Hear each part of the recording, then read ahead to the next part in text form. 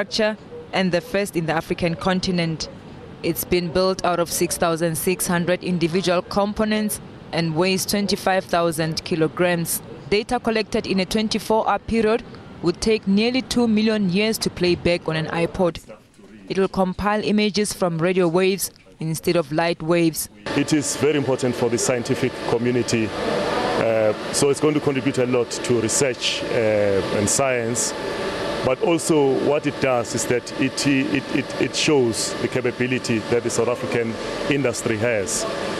And it does so for the African continent as a whole. The Square Kilometre Array is a radio telescope in development in South Africa and Australia. It will operate on a wide range of frequencies and its size will make it 50 times more sensitive than any other radio instrument.